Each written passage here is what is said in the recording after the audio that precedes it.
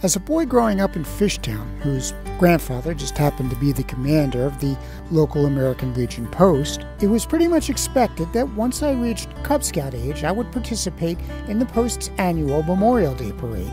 Waking up early with my father, also a member of the American Legion and my Cub Master, was actually quite a treat. We'd stop in the post's headquarters before the parade, and usually somebody had stopped in Claus's Bakery, and fresh butter cake was available for the Legionnaires and the Ladies Auxiliary who were setting up to give out hot dogs and birch beer to those who marched and the neighborhood kids who had watched the parade. I would sneak a piece, and then my father and I would walk down Palmer Street and around the block, the Tulip and Earl, where marchers would be staging for the parade. What I didn't know at the time was that just down the block from where we were staging, that eyesore of an old factory that we'd passed at Palmer and Tulip was where all the baseballs used in the American League for the first few decades were made. In fact, it wasn't until 2015 when I saw an article by Frank Fitzpatrick on the Philadelphia Inquirer's website that I realized that baseball legends such as Eddie Collins, Ty Cobb, and Connie Mack had come to that very building just around the block from where I grew up to visit the workers who would make baseballs. Although it's condominiums now, it was the Alfred J. Reach factory, named for its owner, a pioneer of the very beginnings of baseball in the United States. Philadelphia Baseball History presents Baseball Pioneer Al Reach mugs, phone cases, t shirts, and more, all in our merch store. Celebrate your favorite player or team. Link in the description below. Born in London in 1840, Alfred J. Reach was the son of a cricket player, Benjamin Reach. In 1841, Benjamin and his wife Elizabeth moved the family to just outside of Brooklyn, New York. An industrious child, Al began working first as a newsboy and then as a ship caulker, and finally as an ironmonger. In his spare time, Al played a sport that was becoming popular in New York baseball. Al founded the Jackson Junior Baseball Club, named after the president Andrew Jackson, and even enlisted his mother to help make the team's uniforms. Al caught the eye of one Henry Eckford, a shipbuilder who founded the Brooklyn Eckfords, one of the nation's best baseball teams in the late 1850s and early 1860s. Reach played second base for the Eckfords, who played their games in the Union Grounds, the first enclosed baseball field in the nation. Soon he was the team's star second baseman and was quite an innovator of the game. You see, when the game first started out, the defensive players in the infield often played on the base that they were assigned to. So second baseman would play on second base. Reach changed that so that he was standing off second base close to the first so that when the ball was hit, he was in a better position to field it than if he was playing straight out the middle. His reputation grew as a ball player, and by 1865, the Athletic Baseball Club of Philadelphia offered Reach a salary of $25 a week to play for their club. At the time, baseball was considered a purely amateur sport. Reach had to be paid in secret. Some will claim that Al was the first paid baseball player, although others say that honor belongs to Jim Creighton of the Brooklyn Excelsiors. On paper, Creighton was given a job in the club's administration, although it was understood that the job had no duties other than to play ball. By 1865, the Athletic was becoming a nationally competitive team. It is widely believed that the Brooklyn Atlantics, the reigning champions, denied the Athletic the opportunity to compete fairly for the national championship in 1865 and 1866 due to so called miscommunications and misunderstandings. In 1867, the Athletic won the first match from their series with the Atlantics and claimed the second game as a forfeit due to the Atlantics not being ready to play on the day of the match. Having won the series, the Athletic claimed the title of national champion, although the Atlantics disputed that claim and brought the dispute to the Judiciary Committee of the National Association of Baseball Players.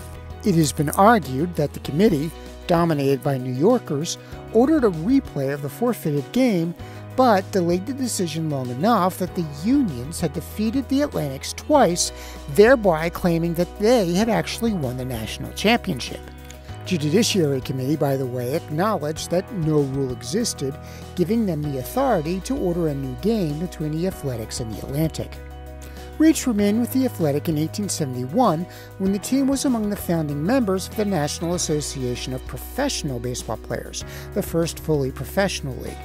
The Athletic had the distinction of winning the first fully professional league pennant in 1871. Reach continued to play through 1875. In 1874, he was among the athletic team that toured with Harry Wright's Boston Red Stockings in the country of his birth, England. The two teams were allowed to play their games on local cricket fields, provided that they agreed to play the local cricket clubs who owned the fields. Reach's background in cricket most likely came in handy for the matches, as Harry Wright and his brothers George and Sam had to give instructions on how to play cricket on the boat ride over.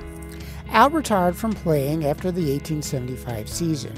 When he first came to Philadelphia, he had established a cigar shop. But seeing the rising popularity of baseball, Reach established a sporting goods shop on South 8th Street in Philadelphia in 1874. So Reach was not among the athletic team that first joined the National League in 1876. But Reach did make money with his sporting goods business. He teamed up with leather worker Benjamin Shibe and together manufactured baseballs. Reach also published an annual guide to baseball. The Athletic were expelled from the National League when they ran out of money to make their final Western road trip in their inaugural season. Philadelphia was without a professional baseball team until 1882, when the American Association, also known as the Beer and Whiskey League, created a new athletic team to play in Philadelphia. By 1883, the National League, led by President Abraham Mills, wanted to put a new team in Philadelphia, the second most populous city in the country, and offered the franchise to Reach. Al Reach accepted and became the first owner of the Philadelphia Phillies. That 1883 team, however, was dismal. Reach hired an old friend, Harry Wright, to take over as manager of the Phillies, and soon Wright was instructing the team in the fundamentals. Wright made the team competitive, although they never won a pennant under his leadership.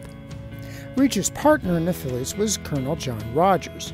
The two had a falling out with respect to how to run the team in 1899, and Reach decided to divest himself of any ownership of the team. By 1901, Ban Johnson had turned the Western League, which was a minor league, into a rival major league now named the American League. He recruited Connie Mack to help manage a new team called the Philadelphia Athletics, and Mack in turn recruited Ben Shibe to become part owner of the Athletics. Ben Shibe, of course, was Al Reach's former business partner, and soon Reach became the exclusive supplier of baseballs to the American League. In 1905, Reach became a member of a committee to determine the origins of baseball, headed by former National League president Abraham Mills. This was the committee that determined that baseball was invented by Civil War hero Abner Doubleday in Cooperstown in 1839, a story that we now know is not true. Al Reach eventually sold his sporting goods company to Al Spalding. In 1928, Al Reach died in Atlantic City. Al Reach was a key pioneer in the early days of baseball. He was an innovator on the field. He was a sporting goods magnate. He was the owner of one of the oldest sports franchises in the world, which still exists today. And he was a businessman who helped support the upstart American League.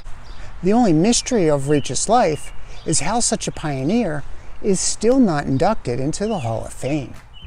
Don't forget to like, click, and subscribe please consider becoming a patron at Patreon. Link in the description below. And we have a merch store. We have a variety of t shirt designs available, plus mugs, phone cases, and face masks. Thank you so much for watching.